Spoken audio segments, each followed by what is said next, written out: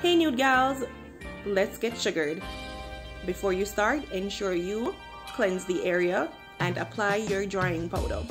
Then get your Newd Gyal Organic Sugaring Wax and let's begin. So ensure you apply the sugar in the opposite direction of hair growth. So as you can see, like hair grows tend to grow downwards, so you apply upwards. Then you get your strip, hold the skin taut, and pull downwards or in the direction of hair growth. Pull again, nice clean pull. You can also reuse the same strip multiple times because you know we're on a budget over here. So you want to get as much use as possible out of your strip.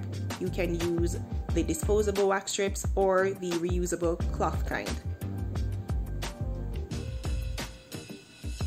Some of the benefits of using the Newd Gyal Organic Sugaring Wax is that it reduces hair growth with consistent use. So the more frequent you sugar, the more, or rather the less the hair will grow, right?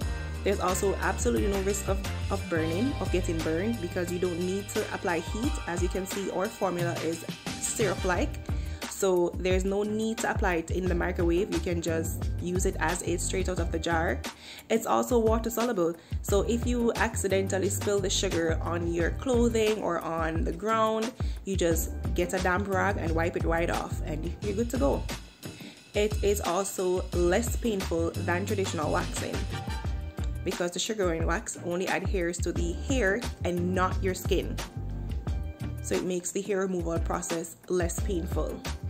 It's also made from all natural ingredients. Literally, you can find these ingredients in your cupboard right now. It's just sugar, water, and citrus.